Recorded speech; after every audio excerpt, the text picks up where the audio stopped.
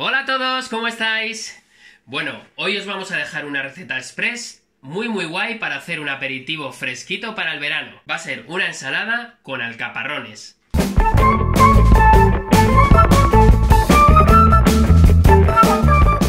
Los ingredientes son tomate, en este caso vamos a utilizar uno de la variedad buey, que es uno de los mejores que hay, alcaparrones, primos hermanos de las alcaparras, y que tienen un montón de propiedades. Por deciros algunas, contienen flavonoides, taninos, mucílagos, alcaparriturina, fibra, aceite esencial, proteína vegetal, magnesio, calcio, sodio, hierro y vitaminas A, B2, B9, ácido fólico, C y E. Las alcaparras y alcaparrones poseen propiedades hepatoprotectora, antihemorroidal, diurética, antianémica, antiespasmódica, digestiva y antirreumática.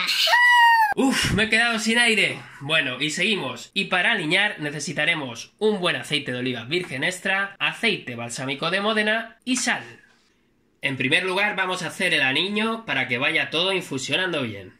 Aceite de oliva virgen extra, seremos generosos, unas gotas de vinagre de Módena y sal. Como siempre decimos, es mejor que sea sal marina o en este caso sal del Himalaya. Removemos bien para infusionar bien esta mezcla. Lo dejaremos mientras cortamos el resto de ingredientes. Cortamos el tomate, no tiene ningún arte, como a vosotros más os guste. Valorar la pericia de A con el cuchillo, que eso es maravilloso.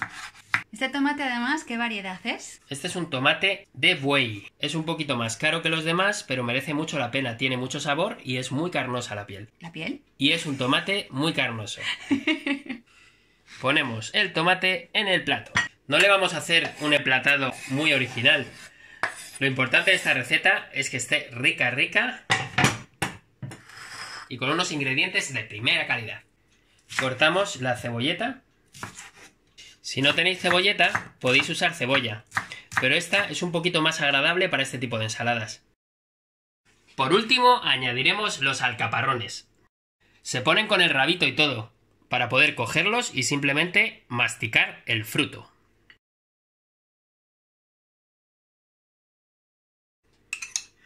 Vamos a alinear la ensalada.